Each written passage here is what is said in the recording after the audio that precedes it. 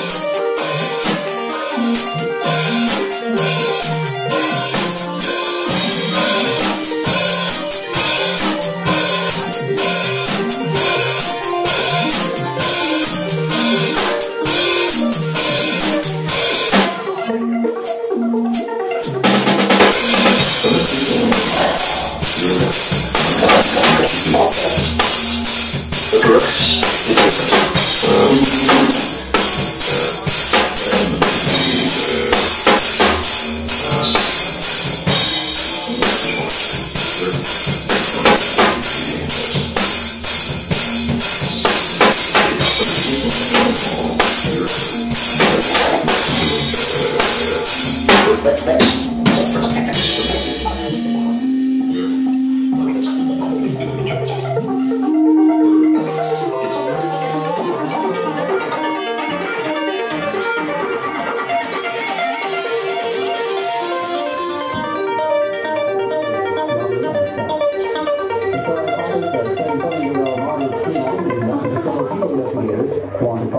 talk that he could not be called a suspect at this point. The man has an extensive violent criminal history in the state of Edinburgh, including underage robbery and theft.